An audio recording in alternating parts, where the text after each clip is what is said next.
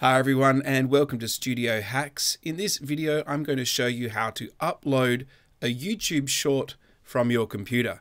This will work for both Mac and PC and if you want to see how to do it stick around and I'll show you right now.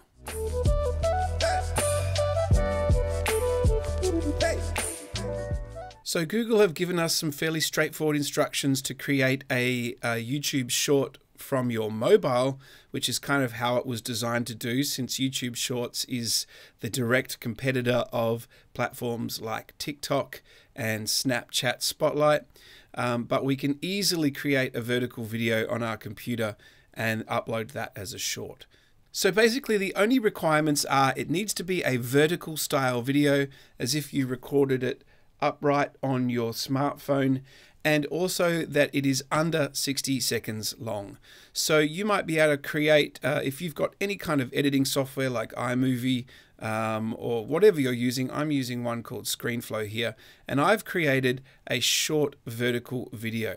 I've got that file right here. So it's as simple as going to YouTube, logging into your account, and hitting the create button like you'd normally upload a video and then from here, you're going to grab your vertical video and either drag it and drop it into this area or hit that button and choose the file. So I'm just going to drag and drop into this area and then it will start uploading this video like normal. Now the only extra step I have to do is pop somewhere in the description or in the title the hashtag shorts.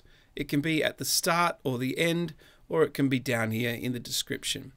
You can even choose a thumbnail from your video or you can create one. Just make sure it's in the same dimensions.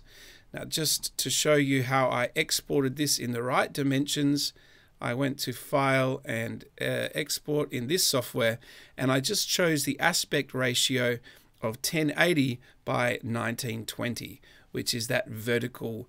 So it's 1080 wide and 1920 from uh, high up and down.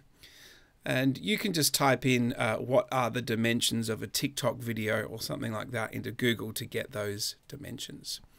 So once that's finished uploading, I can just go ahead and you can even keyword it if you like. Um, I don't think you really need to for YouTube Shorts since they're very different style. People aren't searching for YouTube Shorts, they're just going through, and if they like them, they like them, and if they subscribe, they subscribe. But it can be a really good way to build a YouTube channel uh, from scratch, or if you don't have many subscribers, you can use these YouTube Shorts uh, to build your subscriber base.